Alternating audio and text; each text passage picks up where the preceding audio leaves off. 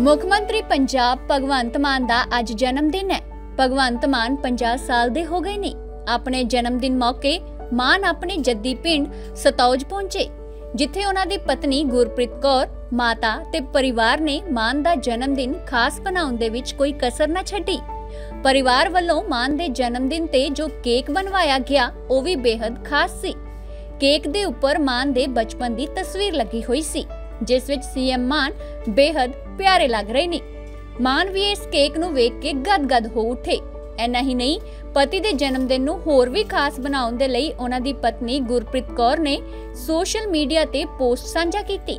Madam Gurpreet ਨੇ ਮਾਨ ਦੇ ਨਾਲ ਕੁਝ ਪੁਰਾਣੀਆਂ ਤਸਵੀਰਾਂ ਸਾਂਝੀਆਂ ਕੀਤੀਆਂ ਤੇ ਕੈਪਸ਼ਨ ਵਿੱਚ ਲਿਖਿਆ, ਜਨਮ ਦਿਨ ਮੁਬਾਰਕ ਮਾਨ ਸਾਹਿਬ, ਪੰਜਾਬ ਦੀ ਸੇਵਾ ਲਈ ਤੁਹਾਡਾ ਅਟੁੱਟ ਸਮਰਪਣ ਮੇਰੇ ਦਿਲ ਨੂੰ ਮਾਨ ਨਾਲ ਭਰ ਦਿੰਦਾ ਹੈ। ਤੁਹਾਡੀ ਪਤਨੀ ਹੋਣ ਦੇ ਨਾਤੇ ਮੈਂ ਜਾਣਦੀ ਹਾਂ ਕਿ ਤੁਹਾਡੀ ਸਭ ਤੋਂ ਵੱਡੀ ਖੁਸ਼ੀ ਲੋਕਾਂ ਦੀ ਸੇਵਾ ਕਰਨ ਵਿੱਚ ਹੈ। ਤੁਸੀਂ ਸਾਰੇ ਪੰਜਾਬੀਆਂ ਲਈ ਖੁਸ਼ਹਾਲੀ ਅਤੇ ਭਲੇ ਲਈ ਜੁਟੇ ਰਹੋ।